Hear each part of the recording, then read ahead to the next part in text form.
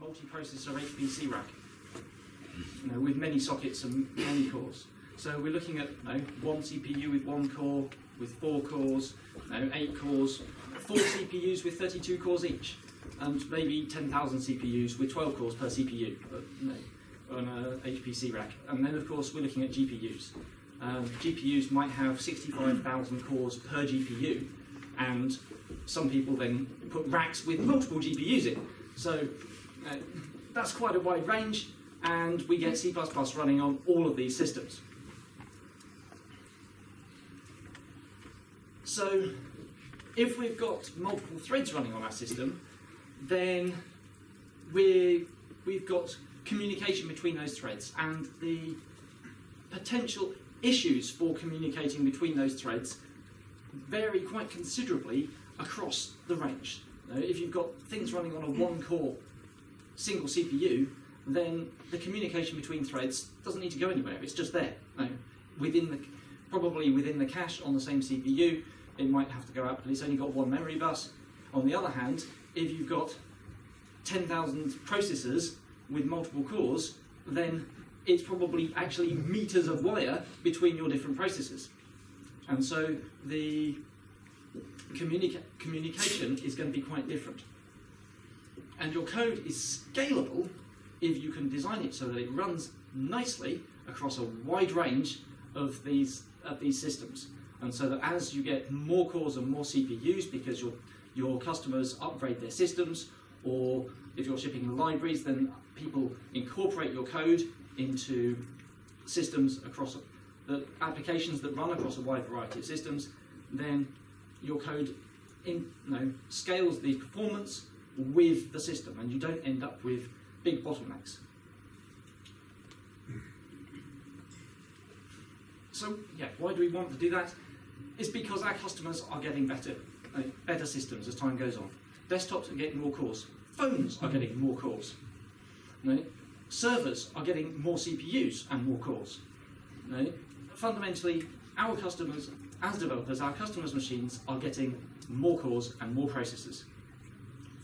So we need to think about designing our code, uh, improving the design so that it scales as our target machines scale. You don't want to have to redesign your machine just because the customers have upgraded their computers.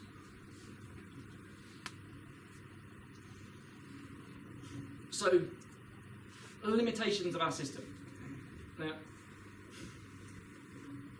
many years ago, David Butenhof coined a nice term, mutex, for um, mutual exclusion, and fundamentally it is a means of preventing concurrency. Now, so, so yes, it was Dijkstra who invented the, the, um, the acronym, but it was David Butenhof, who was the designer of POSIX threads, who says maybe it would be better if instead we called it a bottleneck.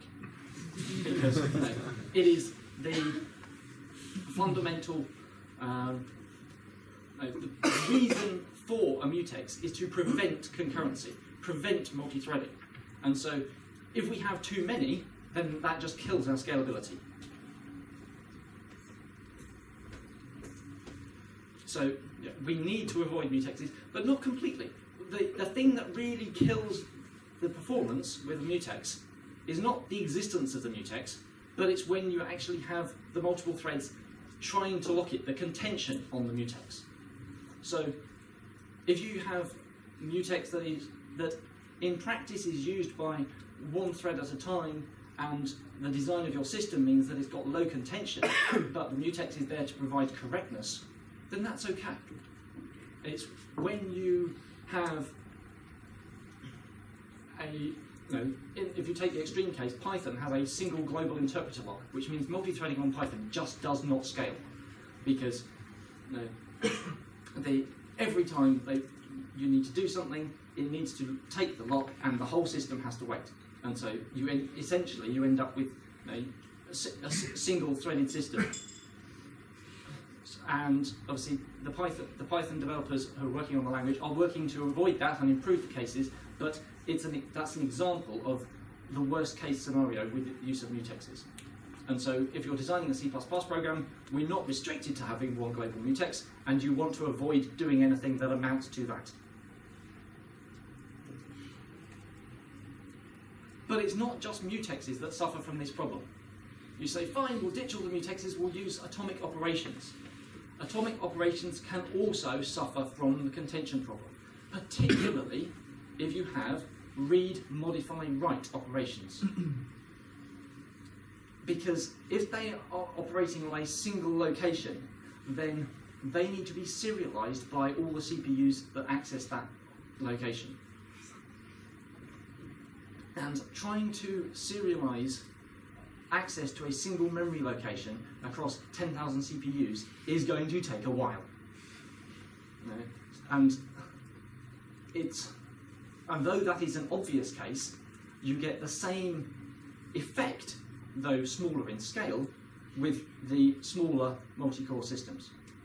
So the problem doesn't just go away because it's all on a single socket, it's just far more obvious when you have multiple sockets. So we need to be sparing with our read, modify, write operations, just as we need to be sparing with our mutexes.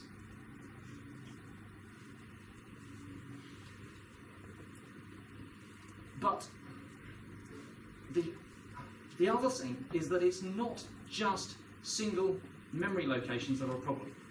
CPUs share data by the cache line. So if you have data that is used on multiple multiple memory locations that are on the same cache line that is also used by your multiple CPUs, then you have essentially the same problem. But it's not immediately apparent from looking at your code. Now, cache lines are typically 16 to 128 bytes. Um, I think some systems actually go up even 512 bytes. Now, our colleague from Intel can probably tell us what the range of their currently shipping um, processors are. But the, the idea is that uh, you have more than one data item that is next to each other in memory and conceptually is a separate thing, but you still get the synchronization overhead of trying to coordinate the cache across multiple CPUs.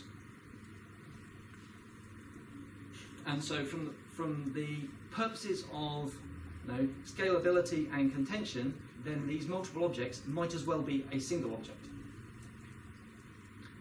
And this whole this this idea is called false sharing because they are sharing the cache line even though they are not really the same object. So that is something to be aware of. See, the, the explicit problem that you get with, with the sharing is, is cache ping pong. The cache line is pinging back and forth between the CPUs. So CPU A is accessing some mer a memory location, and it therefore is trying to do a write. It needs control of the cache line. A second CPU also wants to write to that cache line, a different memory location perhaps, but on the same cache line. So the cache line has to be transferred to the second CPU. The first CPU then tries to access the memory again, and it has to be transferred back again. And so it goes ping, pong, ping, pong, back and forth between the CPUs. This takes time and can have a big impact on performance because transferring cache lines is slow. And just to think about how slow, uh, the speed of light is 3 10 to the 8 meters per second. And CPU clocks are of the order of a few gigahertz. So I'm going to say 3 gigahertz because it makes the maths nice.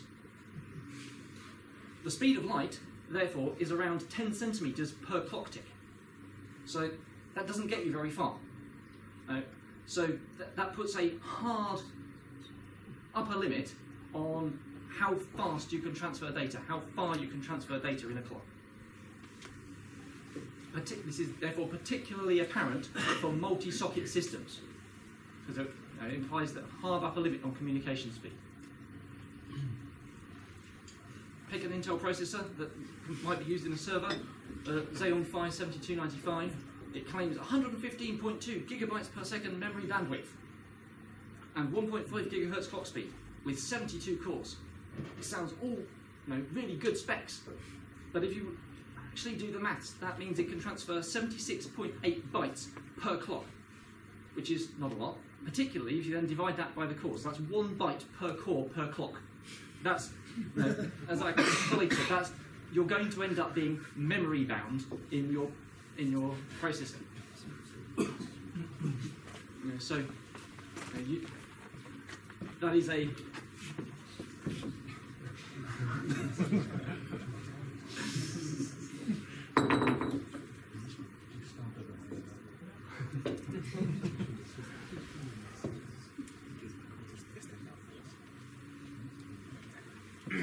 th- this can in, can be a very real limit.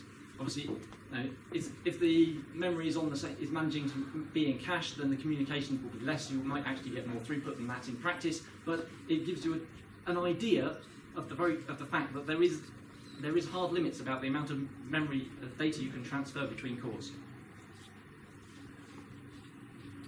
So, what can we do about this when designing our system for scalability?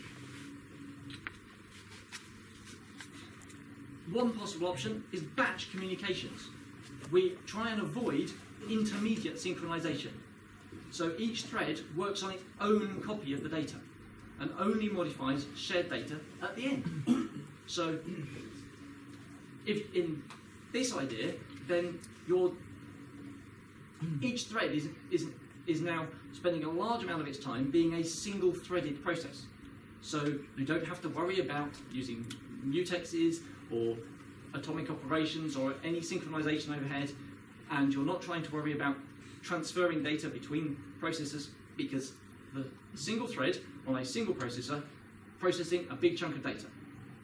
Then, when it's done with that data, then you look at you know, a, some form of communication protocol, that, and that is where you then have to focus the you know, cross-thread synchronization issues at the synchronization points. And so that is one possible way of reducing the ongoing synchronization because when, it, when your, your threads are running on their independent batches, then you don't need to worry about shuttling the data around. You're not worrying about fault, uh, about cache ping pong unless you've got bad false sharing.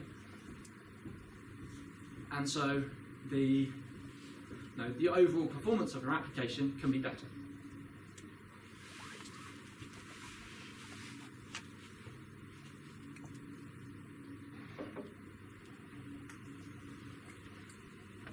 So let's look at some C++ code to have an example.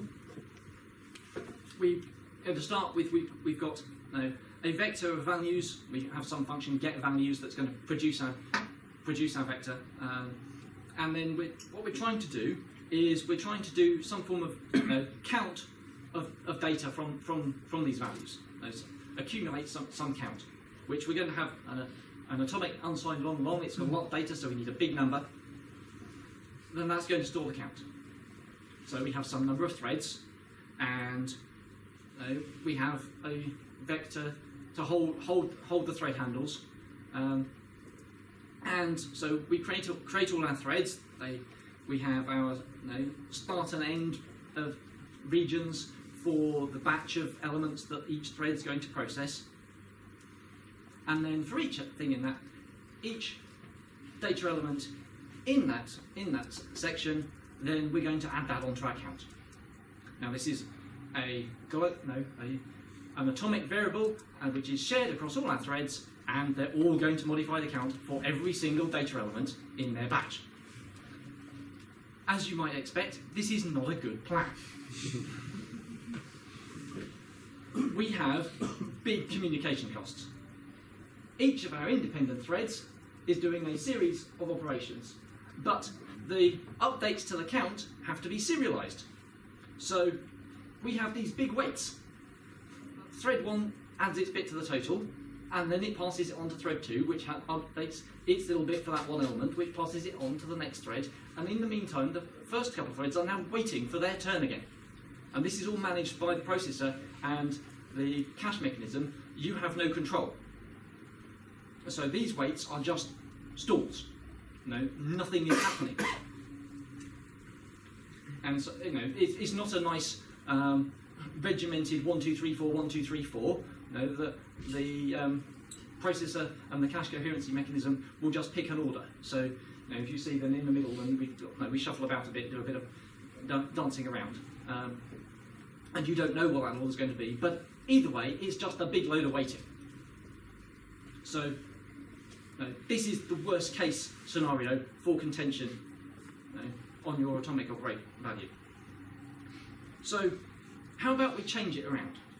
Instead of having our for each and updating the count every single element, we do our batch. No? We use accumulate to gather up the sum totals of for each each thread gathers the sum total for its elements, and then we add that on at the end. So now, when we look at what happens, then we each each thread can do its operations together. You know, it can do a batch of operations to its local count, local totals, add them all up, and then we get the serialization of the final adds to the global total. We've eliminated all those intermediate wait steps apart from at the bottom.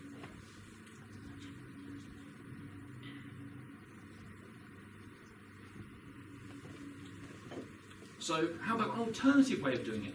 Instead of using an atomic value to accumulate the totals, instead we use futures to accumulate the individual totals. So we have a vector of futures that corresponds to the no, one future per, per thread for each of the threads that we've got in our system. And we launch an, an async task on its own thread that's going to calculate the sum total. So we use accumulate to do the local totals on each of the tasks again. But this time, rather than adding them directly to the global atomic, we store it in the futures. And then at the end of the loop, we wait for all the futures and add up the values. So in this case, we've now got each of the threads Um, and it returns its local total, and so they're not they're not waiting for each other. What we have is one thread at the end that's waiting for all of them. And so that's changed the dynamic. It's moved which thread is doing the waiting, which potentially means that the cores that were doing those tasks can now do something else.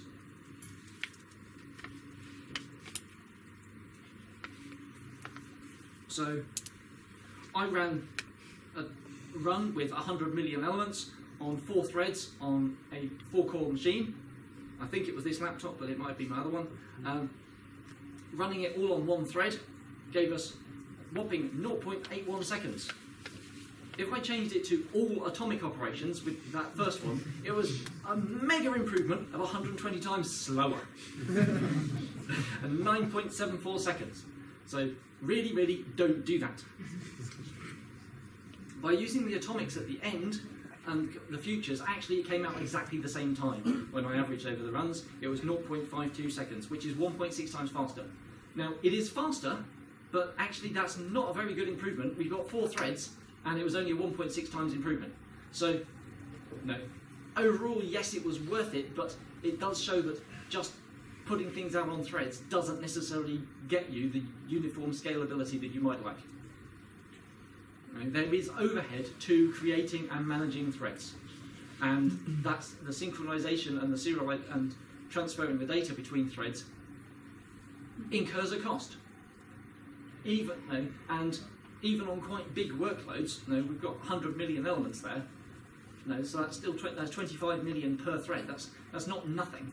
Um, it still doesn't get us the uh, big level of improvement that we might have liked. We have to know, look at all the options and always profile and check that you are getting the improvement that you hope for on your target platform.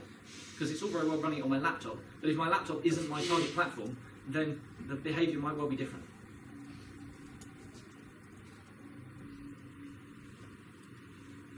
Okay, so what about other things? Suppose we have a linked list, and it's accessed by multiple threads you know, we, we want to maybe add or remove elements. What can we do? No, because you know, it, you know, that sort of operations you might tend to do to a linked list. So what can we do to protect it? Well, there's various options. We could use a mutex for the whole list. We could try and use a, a mutex that covers each link in the list so that that allows different threads to have um, to be accessing different elements at the same time, and it's only when they're actually trying to access or modify the same element that you need to that they, they need to worry about about the contention. you could use an atomic of shared pointer of our nodes for the node links, which automatically allows you know, multiple threads to access it and ensure that it's done in a, in a thread safe fashion so you don't end up with nodes being deleted whilst you're uh, whilst somebody whilst one thread's accessing the other other thread removes them. Uh, you don't have to worry about whether the updates to the links are atomic because they always are. No, so that's one potential thing.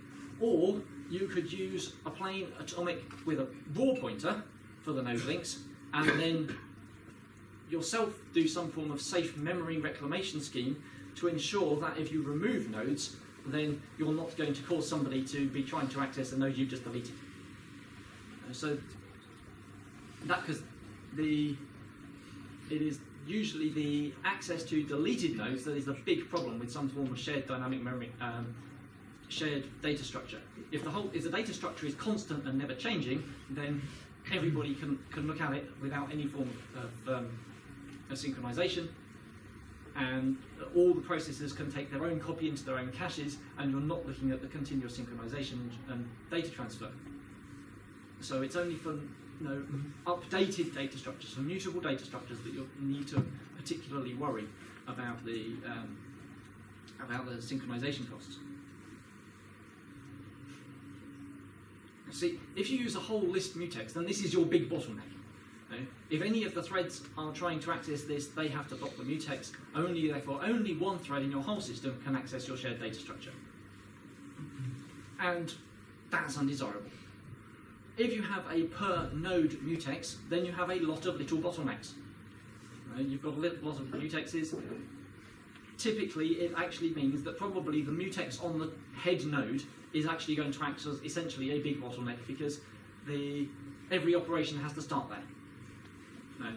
And so it does mean there's going to be a lot of serialization and potentially a big performance impact. The atomics don't help a lot, to be fair, because the particularly with atomics of shared pointer, if you use atomic of a shared pointer, then you're going to end up doing a lot of reference count adjustments. And what's a reference count adjustment? But a read, modify, write operation. And if all the threads are doing reference count operations on the same set of reference counts, you back with essentially a whole load of little bottlenecks. Now you've, you've got the no, uh, the each thread ends up being serialized in the way that it accesses each element. And in fact, um, atomic of shared pointer might even be implemented with a mutex, and on most common implementations it probably is. So it doesn't really gain you anything at all. Another option that I mentioned was to use atomic of raw pointers with some form of safe memory reclamation scheme. This is typically good if mostly your data structure is read-only. If the biggest, if the, the nodes don't change very often, then the node links can now be copied into all the in the, all the processor caches, and the readers usually have a typical, a fairly low cost. The cost then gets all transferred into the writer, which then, no, if any any threads that are making modifications now incur some form of no, a big cost, and the actual cost depends on quite on the implementation strategy that you might use. Various options. Obviously, one is use garbage collection. Um, there are garbage collection libraries for C++. Uh, some people swear by them, lots of people swear at them. Um, so it, not everybody uses them, but it is there as an option. Um, a second option is to use a scheme called RCU. This is commonly used in the Linux kernel, and there are also user space um, implementations as well that run on Windows and Linux, and I think I saw one for Mac OS as well. So they're, they're fairly widespread. Um, and it's sort of a read, copy, update, and the the idea is that readers are really, really low cost, and that the update on the writer side is again is again where all the cost is incurred, and and the writer essentially they wait for the current batch of readers to finish before they can then do their modifications. Hazard pointers is another alternative scheme. and in this case, it's again it's designed around the idea that, that the readers are relatively cheap and the writer and that making the modifications is expensive. On the read side, you update a local variable called a hazard pointer, which says my thread is currently referencing this element, and any other thread that tries to update a um, no, remove an element has to first check are any of the threads in the system do any of them have hazard pointers to this object? Now, see, if you've got a lot of threads, that means a lot of checking. If, you, if you've got a thousand threads, that means that the writer has to check a thousand variables to see whether it's safe to delete an object. And so that, that does incur a big cost on the on the on the deleter side, um, but it means that the reader side, it just has to store a, a local, a thread local variable. You know, so there's not a big cost. It, again, moves it all to the side of those doing the update, updates.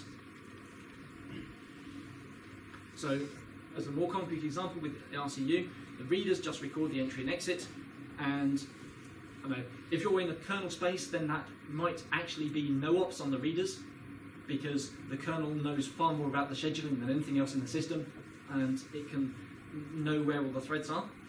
But in user space, you probably do actually have to record. I'm starting an operation, I'm finishing an operation, but again, it's a local thread local update. So the writers, they, they make their changes, but they can't delete the nodes until they've waited for what's called a grace period. and this grace period you know, allows for all the readers that were that could possibly have accessed the node to have finished, and then you can delete the removed objects. So you know, this is what it looks like in terms of running through through time. We have time starts at the top and runs to the bottom. We have a couple of readers here in, in green. They are potentially accessing the node we're about to delete. On the writer side, we try and we remove our in the red section, we remove it from the data structure. So at this point, when we hit the dotted line, then no new accesses to the data structure can possibly see our deleted node but we haven't actually deleted it yet, we've just removed it from the data structure. And so then we have to wait for this grace period until the green readers are finished before we can actually delete it. We don't care about the blue readers, they're after the dotted line, they can't possibly see our, our, um, our node that we're trying to remove. So it doesn't matter how long they take. So that's the idea from RCU, but obviously that imposes that grace period cost on the writer a question? Yes. How do I know how long the grace period needs to be to ensure that no reader is still accessing the object? In advance, you don't know. Um, this is why the reader nodes need to store their entry and exit to the read zone because the writer can then check are any of the reader nodes still alive. They typically, okay. um, you typically have some form of generation count so that you know how uh, at what point did the reader start its its its, um, its processing. So it is not just sleeping for a fixed amount of time; it's really continuously checking: are there still readers alive? Yes, well, it, it, might be continuously checking, or it might be um, putting itself to sleep with an OS wait of some description, so that it gets woken up when yeah. the last reader um, goes, yeah. goes out of the zone. So, what does this actually cost? On the read side, we have an atomic read of the global marker to say what generation are we, and then two atomic writes to a thread local operation. These are thread local things apart from the global read, so they're not particularly expensive.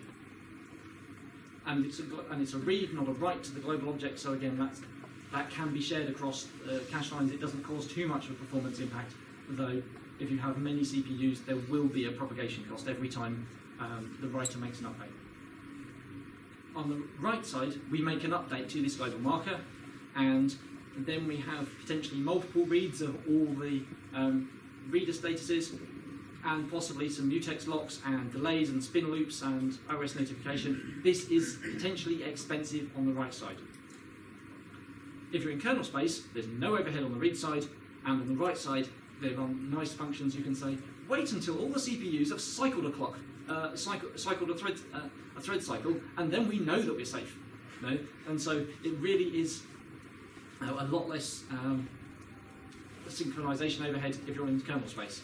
And for those of you who are writing on embedded platforms or real-time OS things, then you probably live essentially in kernel space, and so you might well be able to take advantage of that. But for people on desktops and normal you know, Linux or Windows-based servers, then you're probably not kernel space. Okay, so what the hazard pointers cost us? Well, the readers store the hazard pointers and to refer to their objects, and the writers then make the atomic changes and they check the hazard pointers. So on the read side, we have two or more atomic writes to our per thread hazard pointer and a spin loop to ensure that you have to check. Uh, okay, well I was I'm trying to get a hazard pointer to the object referred to from no from from my first from a given pointer, and I'm going to check what the what the value is and make sure that I've got a consistent value that I'm then going to use to dereference to get to the next next element. So you might have to spin a couple of times in case somebody else is modifying it in the meantime. On the write side, then you have an atomic read modify write option to add to your reclamation list, and potentially because the overhead of checking is so large, you don't necessarily reclaim your object immediately. You instead you have periodic reclamation checks. When I have some number n of not yet reclaimed objects, then I start checking. And the cost then is you only have to check, you've got to check all the hazard pointers across all the threads, but you can check them immediately against all the to be, to be reclaimed objects. So you check each hazard pointer, uh, um, you can gather them all together and check them once, rather than repeatedly checking every time you do a, do a um, modify. And this cost then is a periodic cost that depends on configuration things, but it does depend on you know, the number of threads in the system and the number of times you're doing a write and how, how long you're willing to have your not yet reclaimed objects live around. So the cost of retiring an object can actually vary by orders of magnitude depending on the configuration parameters. So we've got some standard support for um, potentially in the pipeline for you know, these safe reclamation schemes. There's proposals for RCU and hazard pointers um, with freely available implementations. That um, whether whether they whether these freely available implementations are usable on your particular platform is uh, obviously it might vary because uh, they're relying on particular properties of the platforms they're, they're targeting. okay,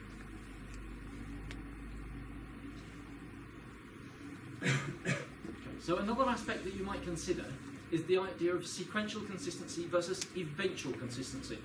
Now, the term eventual consistency has gained a lot of um, traction with the idea of um, no SQL style databases, where we don't have to have things always up to date all the time. you can. Uh, this is in contrast to sequential consistency, where everything in the system agrees on what the current state of affairs is, and so you have a single total order of operations, and you need to make sure that it's you know, continuously synchronized.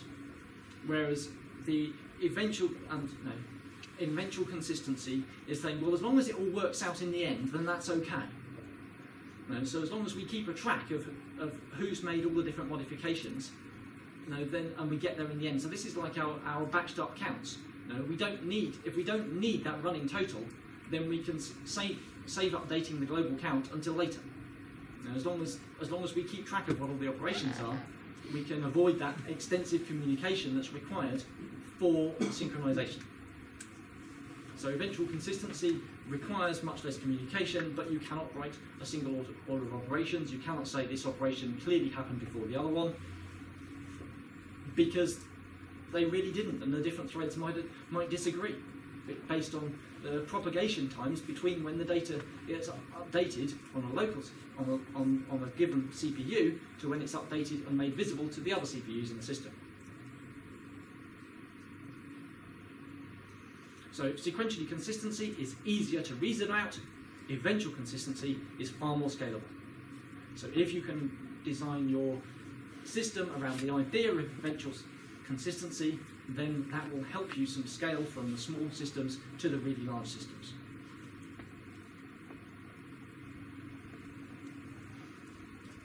So, in summary, your multi-threaded code really needs to be scalable if you're looking at developing not for the systems that, that you're running today, but for the systems your customers are, are going to be running next year and the year after that. In order to do that, you need to avoid contention on atomics, which do read modify writes, and on mutexes. Because fundamentally, you're trying to avoid cache ping pong. And so that means not avoiding the contention and avoiding false sharing. If you're if you've got data structures that are visible to every to the world, you need to make sure that you are using some form of safe memory reclamation scheme rather than um, mutexes and, and live and atomic updates um, with shared pointers to the individual parts because then that allows you actually uh, in some sense then your hazard pointers and RCU are, are essentially a, a, a type of eventual consistency we're removing the objects from the thing, but we're saving the deletion till later. We're not worrying about whether it happens right now, as long as the deletion happens eventually. Uh, so that provide, allows you to provide the scalability. Obviously, one point that isn't on the slide is that if you can avoid the communication altogether by splitting your code into lots of single-threaded parts, then that is the best state. Right? The best scalable system is something that doesn't need the communication. But I don't know, that's, that's something, you know, um, parallel algorithms, people call that embarrassingly parallel. Um, there's nothing to be embarrassed about. If your system works out like that, it's brilliant. Right? Um, but for most of us, that is not the case, and it requires either luck or careful design to manage to make that the case. So in most cases, you're trying to look at how do we make our the communication we do have, how do we make it scalable? Okay, so quick plug here for my book. The second edition is going to be printed any day now. Honest, only for the last year I've been saying that. Um, it does cover the new updates for C++ 17 and Concurrency TS. You can buy a PDF copy. Uh, which you know, does contain all the words. It's, you know, it's a complete copy, but it's PDF only at the moment. There will be print copies at some point. So, any questions?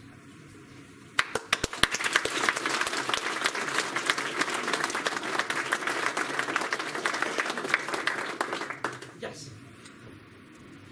So, how where to start?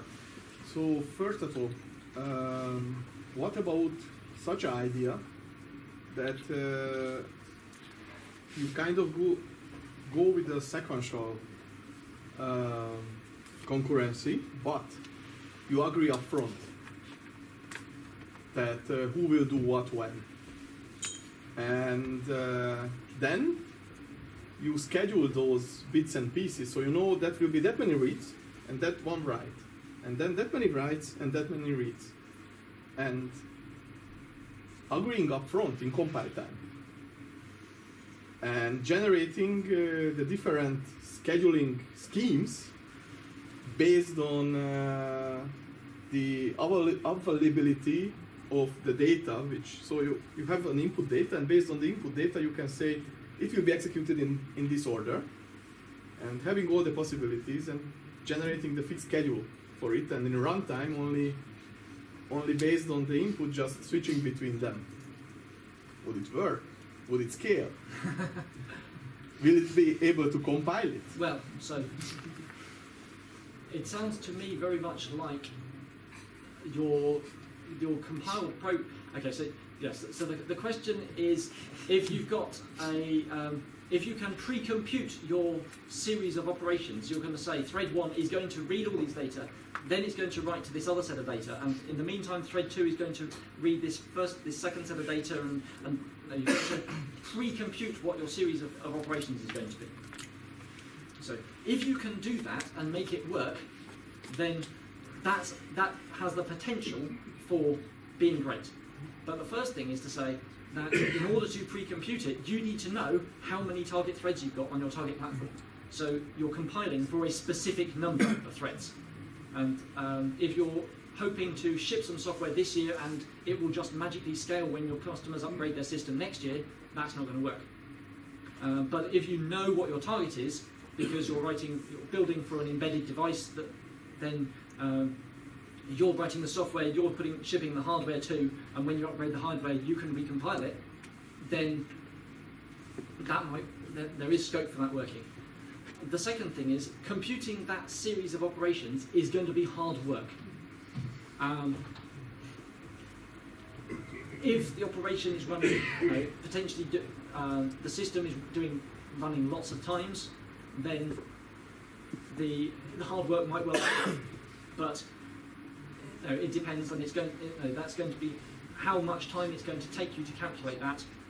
I wouldn't like to guess, and it might be that you, you, you can do it in a reasonable length of time, and it might be that you can't. But know, if, by all means, you're, you're happy to try if you've got the time to do so. yes, back. So you mentioned the cost of uh, creating threads. Does that actually depend on the threading model that you use? So if you compare, for example, pthread with the OpenMP thread, Uh, yes, every, every different thread. It will probably mostly depend, in fact, on the operating system. Um, no, the cost of starting a thread on no, desktop Linux is going to be different to the cost of starting a thread on no, Windows Server, and possibly even to Linux when it's in, in its server configuration, because the expectations of what the kernel is doing is going to be different, and so the costs are going to be different. Uh, um, so, but Yes, there, there is overhead and it, and it does vary. Any more questions? Yes. Speaking from special bias, uh, as you uh, closed off, the, the normal problems are not that HPC kind of here's an array or a list and let's just uh, calendarize it, but it's more heterogeneous and you have different objects communicating. And uh, so my bias is uh, the actor model. And um, so, do you think that the answer to being future-proof is exactly uh, that uh, optimization or, or approach that you share almost nothing, or if you share, you share as safely as possible, and then you do message passing as the CPU is doing already. There's a paper called uh, "Your CPU is a distributed system anyway" uh, already. So. Um, it seems that if you if you do message passing and at a special granularity, as you said with batching, then you might be future proof. But the scheduling is the problem that uh, the, person tried to to offer a solution for by pre-computing the scheduler. But uh, I guess that is not really pre-computable. Maybe uh, what do you think of the uh, maybe not just C++, but rather the other implementations of the model? Yes. So, so, the question is obviously, um, does does using the actor model provide some form of solution to this? Because in the actor model, then each actor is working on its own independent data, and then you've got the message passing to communicate.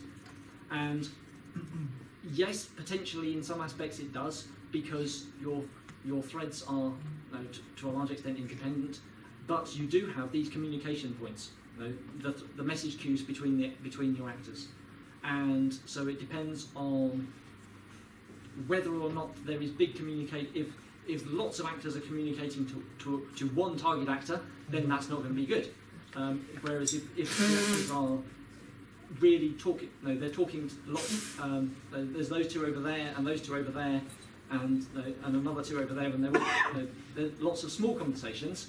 Then there's a whole there's a lot less contention, and that potentially can be can be a solution to the problem. But it, it is about how you design your actor system. The modeling. And, and, and how, you where, yes, how, how you model it and where you put the boundaries. But um, it can be really effective. Um, obviously, the probably the most widely known use of the of the actor model is in Erlang, where you know they the whole point of the system is to have many millions of actors that communicate between themselves and they do it very fast and it works very well but you still have to design your system right yeah. so it's not a it's not a panacea you have it's all about how you design the communication paths and avoiding that contention in this case it's contention on a given actor rather than contention on the mutex so any more questions Yes. So I have a question regarding the hazard pointers. You mentioned that the readers they read three times to make sure that the value hasn't changed, and this sounds to me like uh, quite arbitrary. Like, uh, what does it mean? And uh, Okay. what if we read, read this uh, too few or too many times? Okay, so the, the question is about hazard pointers, and I said they might read a few times to make sure that the pointer hasn't changed. It's not an arbitrary count, a few times. It's the, the, the point is they have they they read the value and, set, and store it in their hazard pointer. They then read the value again to make sure it's still the same value they just stored in their hazard pointer. Uh-huh. And if it has changed, then they repeat the process until they've got the, a matching value in the hazard pointer okay. and in the, the point you're reading. Okay. So it's not an arbitrary, just a few. Oh, three, four. But how do I much do I feel like today? It's you know a there. Uh, there's a process of why it's like that, and making sure, and it's about making sure there's consistency, so that you've got your hazard pointer is pointing to the right thing. So as long as one one uh, read match the the real value, then the process stops and then Yes. can move on. Yes, that's right. As soon as, as soon as the the hazard pointer that you stored matches the read when you check it, then you can stop. Okay. Okay, there was a question at the back. Yeah, um, with the ask you or hazard pointer, the writer thread has to check for all the re- reader threads. And what if one of the reader threads takes an extraordinarily long time to uh, goes haywire with some calculation and takes more time than all the other threads, and the whole process kind of grinds to. Uh, Yes, avoid- how do you avoid this? Okay, so the question is with RCU and, ha- and hazard pointers that are checking for the, against the readers. What if they take a, the readers take a long time, and what if they've got a particularly problematic reader that's taking ever such a long time for some particular reason, and that can cause a problem. But typically, one would work around this by um, by relying on the eventual consistency, of the deferred reclamation. So I, I specifically mentioned it with hazard pointers, but you can do it with RCU too, which is to say I've I've got this object that I, that I want to delete as soon as the, the readers are done. I'm going, oh, I can't delete it right now because somebody's still still reading, so I'll put it on the list and do it later. And then eventually you come round, and RCU um, and hazard pointers both have mechanisms for you know, checking for um, pending deletes and making sure that eventually they do happen. Um, possibly by having a dedicated background thread that just does that. You know, but uh, other, other means as well. But yes, it, it can be a problem the it, it essentially it just means that the delete won't it gets deferred an arbitrarily long amount of time so you need to not rely on the delete happening immediately um, and you know, but, and be be happy with your nodes still being allocated but not part of the data structure okay I think there was a question over that side was Actually, that was a very simple question. I wanted to ask about the RCU and will the writer get stuck? What's the mitigation solution? But I guess it doesn't matter. Okay. Give So, so do we have any more questions yes Um, so uh, I, I was wondering, since you said that uh, the, the, the atomics basically have to synchronize the same way that the mutex has, just on the hardware level. So where, where does that leave us with uh, regards to um, lock-free data structures? Like, are they just like they scale a little bit better than, than the locking ones, but once the, the the number of threads the number of threads grows even further, they're also not usable, or like is, is there still a use case for them, or what, what is your take here? Okay, so um, the question is do lock free data structures suffer from the scalability problem because they often use atomic read modify write operations as part of their um, design? And the answer is they can do. They can suffer from that problem because uh, if you have a um, no, an atomic a, a linked list with atomic operations and it is frequently being updated, then that's going to be read modify write operations. Uh, the the benefit to the lock-free ones is usually that if it's rarely updated, then there aren't any read modify writes. Whereas if it's a mutex lock, then every mutex lock has to has to do the contention and the synchronization. Whereas the lock-free ones, if it's rarely updated, then the um, processes can actually get copies across all their caches, and they, they don't have to have the have the synchronization all the time until you do an update. One of the benefits with the with the atomic operations that you have the the load uh, compare store part. So you can do a bunch of operation and be optimistic, and then uh, like just check in the end that is my read is still valid. So all what I did before is uh, is good. And if you design your program in that way, that you that you are most of the time in optimistic and some real cases you have to redo the whole thing, you can really scale up the the the system so you don't you don't end up in this situation. So yes. And and Mutex doesn't offer this uh, load, modify, store checks. So yes, so, so um, and our, our, our friend here in the in the Commodore 64 T-shirt was was just uh, saying that yes, one of the, the benefits of lock-free algorithms is that the, the common pattern is that you do reads from your shared from your shared data structure, and then you can perform your local local operations on the assumption that that's going to be okay, and then you do a final commit step, which is the, the expensive read modify write. Obviously, when you're modifying the data structure, so you're so you're um, only incur that cost at the at the end of the modification, and you- you're not having to um, block. You know, if you're using a mutex, then you'd have to block everybody for the whole duration of your operation. Whereas in this case, then it's only that final read modify write that does the commit that then incurs that synchronization cost. But it doesn't make the cost completely go away.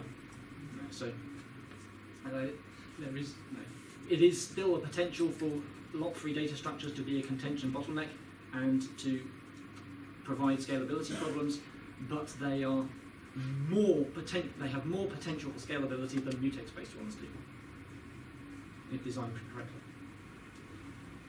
Do we have any more questions?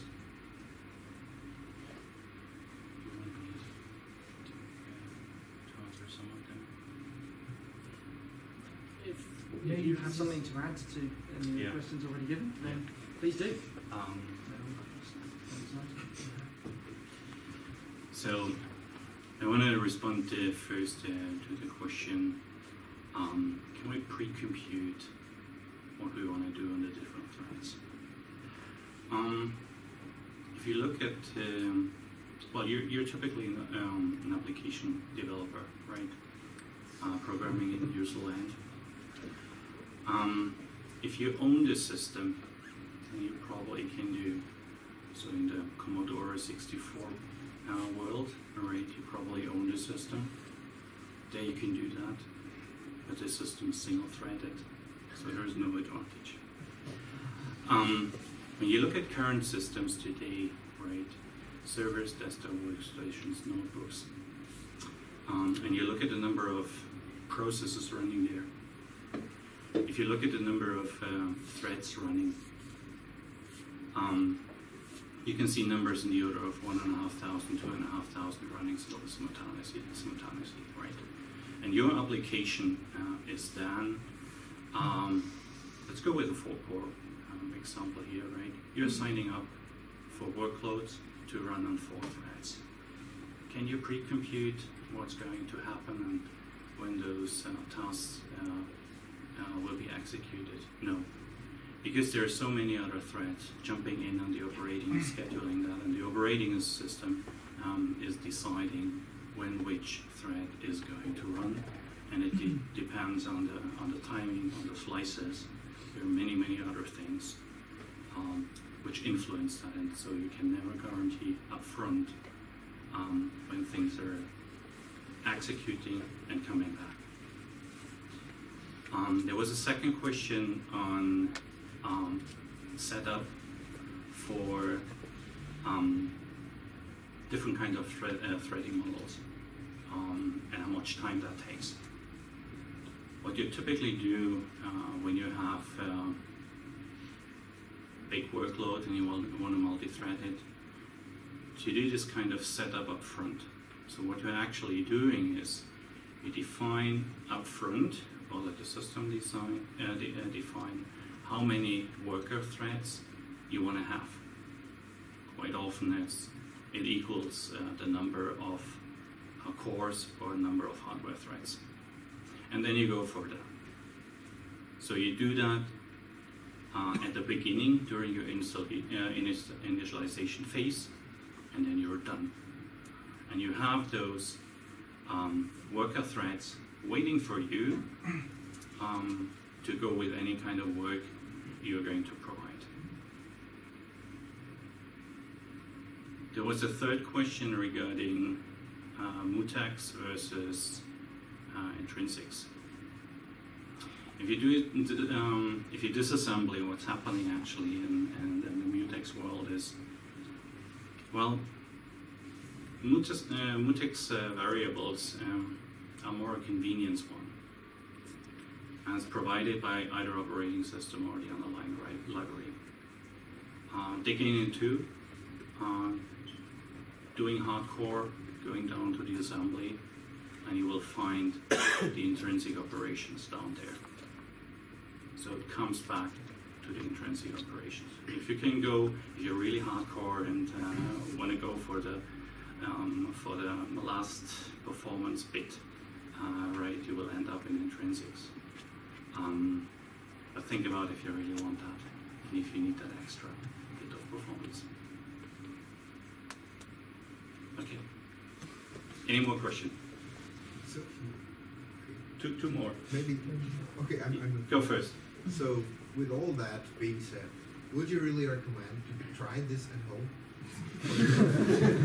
I mean, from To, just to do what? To do multi-threading? Yes. yes, Absolutely. multi-threading that way, as is being described here, and you can find in the literature, and the way doing multi-threading, which requires very high level of expertise and understanding of the underlying system. Would you kind of recommend like go on and implementing hazard pointers or something like that on your own?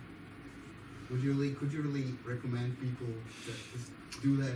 Implementing hazard pointers or implementing your own uh, multi-threading structure. Uh, if it's a hobby project and you don't have anything to do, why not? um, but not, um, not just for as- fun, right? Not yeah. just for fun, right? Yeah. For, for a But what, yeah, what, what Anthony was, was pointing at is um, yeah, how difficult it is, how, how difficult it is to guarantee uh, correct code. Um, and here I want to um, turn back to one of my slides there, right? If you want a professional environment and you have to guarantee, um, you might look for concepts already providing some service to you, like threading building blocks, for instance That's what I go. like yeah or OpenMP concepts. Uh, there are many more out. So what he is pointing at is is actually um, yeah, the hard path um, to go, right, which uh, requires lots of lots of knowledge. Um, if you want to stay on the on the application level more of, often, right, uh, try to take advantage of um, of libraries there um, to use, and then there there are also design models, right, uh, with a graphical um, interface uh, where you can actually design and um, um, uh, throw different workloads uh, you might have to different worker threads. And here you also need to to distinguish between data parallelism and task parallelism and all the things like that. Right? Uh, what you said is uh, ace key is, is the synchronization overhead you might have uh, between the different pieces there. There was another one, right? The, Well, the the the second, the second so question. I, I would have um, appreciated if you get like um, of um, promoted usage of high level libraries like threading building blocks from Intel, right? we can do next time, yeah. because this is really the safe way of doing this stuff. I mean, maybe you won't get the last piece of performance out of the system, but it's kind of you get some. If you go, kind of if you go TBB for instance, right, with um, as a as an example of a library, there's a free version. There's also an Intel maintained one uh, for you know, scalability even beyond, and also supporting new processors.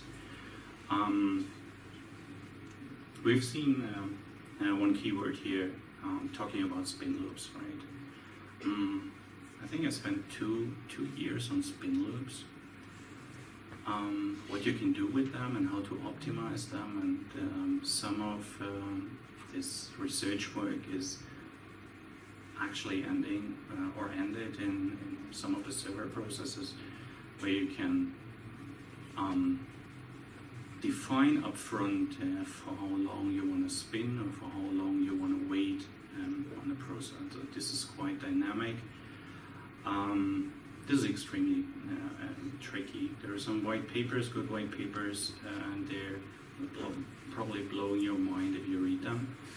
Um, but there are some, some key nuggets uh, in there if you want to write uh, synchronization objects. Um, you should uh, watch out uh, for those white papers uh, on spin loops and, and how to do them um, correct if you really want to do that, right? Application developers try to go more high level. I was, I'm, I'm recommending that uh, to have really safe code. And there are different libraries. So you had the next question. Yeah. Uh, yes, uh, you- you also mentioned a bit, uh, and one of the questions was um, how to avoid stalling the whole program because somebody is misbehaving.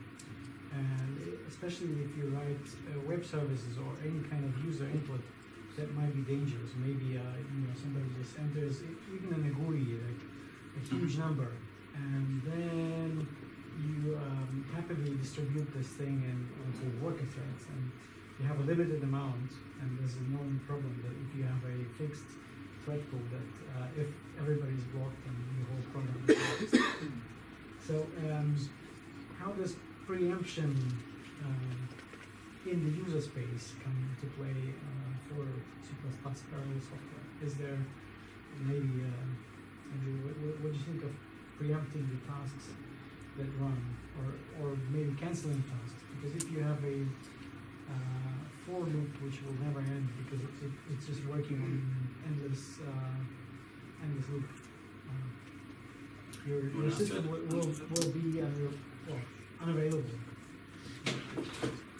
So yes, if you if so the question is about um, if, if you've got a thread pool and you've got so some somehow you get a load of workers on there that are just going to sit there occupying your thread pool because they've got too much work to do, and I would say that generally that if you end up in that situation, that's because you're as an application designer, you haven't thought about breaking up the problem enough.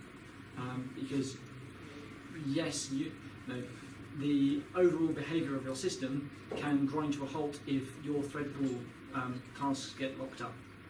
But if you're using a thread pool as a user, as a no, developer, then who's using the thread pool, you need to be aware of, of, of that limitation and not just stick open-ended tasks on the, on the thread pool. Um, you need to have build in some some mechanism for cancelling the task potentially, if so that if the user clicks, uh, process, no, find me the 10 billionth um, prime number, and then they realise actually no no no I didn't mean that I meant find me the 10th prime number. Then then they can click cancel and it will, will actually cancel the background tasks. Um, and also so so that you can keep keep the you know, the application running and responsive. Um, sometimes that can mean that you have a thread pool that has um, some level of priority for tasks, so that you can have high priority tasks that really, really must happen, and low priority tasks which, well, if there aren't any high priority ones, then I can run those. Um, and so it, that's about it's about application design, and you know, there isn't you can't just you know, sadly in that particular sort of case you can't just download a third party library like threading building blocks and say it's okay I'm using threading building blocks it's all going to work fine. Because if you still you can still design your application badly. Um, and so so yeah that, that could be a problem there's, sorry, there's an next uh, possibility. You're using some third-party code like the zlib, and it has a vulnerability if you, you know, say like minus one for the size of the uh, stream and so on, and then uh, you're you're not controlling this because you, maybe it's part of the whole system already, uh, but then you'll run into the problem.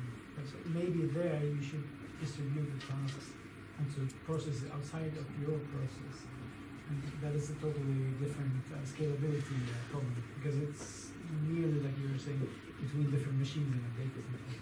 So, so the example here was that, that what, if, what if the code that has the problem is because you've got a third-party library that you're relying on that has a particularly bad um, behaviour in some circumstance. You, you know, the example I think was zlib, where if you if you if you set some some parameter to minus one, then now the the time time constraint blows up and it takes forever to do something.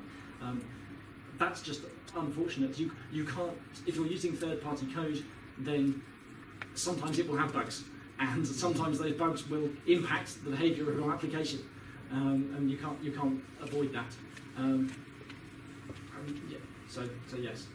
Um, and just to go back to the point that he, that the guy over there was making um, about sh- should we use um, no should we be should we be designing these systems and overall you should not be trying to implement RCU and hazard pointers and concurrent data structures yourself. If you can get a, a library that implements them for you and using those, then using them in your application is one thing. Trying to implement them is really hard, and either you know, if, if it is your job to implement them, then fine. If it is your hobby to implement them, fine. But don't incidentally try and do it as part of developing some other application.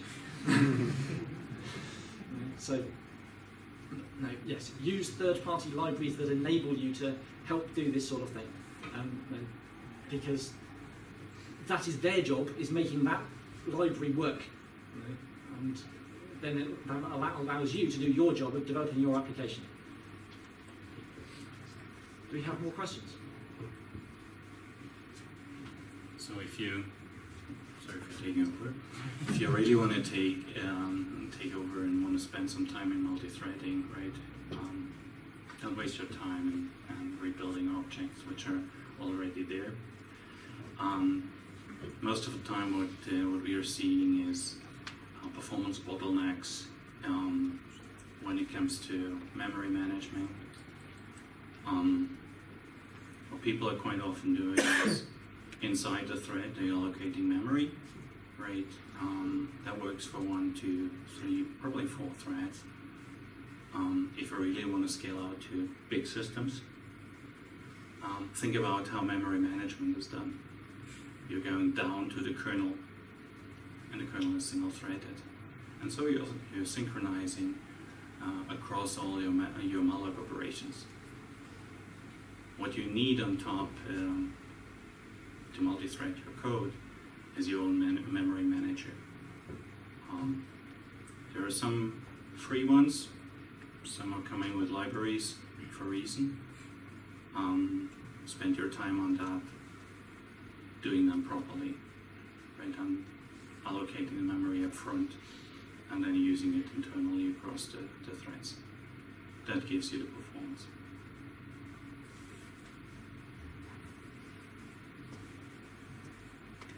Mm-hmm.